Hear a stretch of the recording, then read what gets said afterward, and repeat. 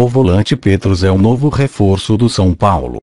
O Betis, ESP, aceitou a proposta do tricolor, e o jogador de 28 anos é esperado para assinar com o Time do Morumbi na próxima segunda-feira.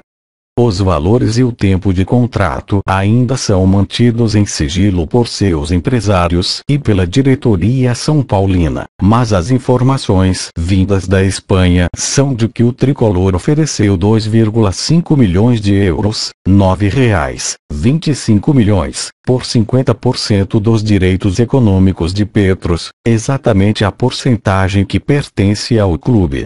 O volante tinha mais três anos de contrato com o Betis, mas, embora tenha feito 33 jogos na última temporada, perdeu a condição de titular neste semestre. Além disso, seu desejo de voltar ao Brasil é tão grande que ele já cortou as negociações com outro clube espanhol e um italiano que manifestaram interesse para priorizar o tricolor. Depois de acertar com o zagueiro Roberto Arboleda, o meia Jonathan Gomes e volante Petros, o São Paulo pode trazer mais um reforço para o Morumbi.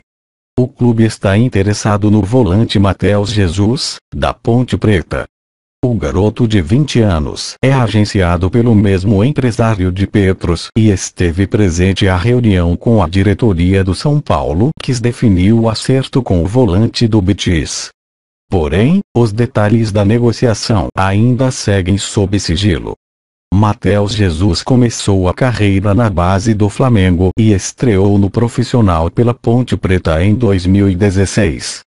Ele teve passagem pela seleção brasileira sub-20 e chegou a ser sondado pelo Sporting, por, no fim do ano passado, mas o negócio não avançou.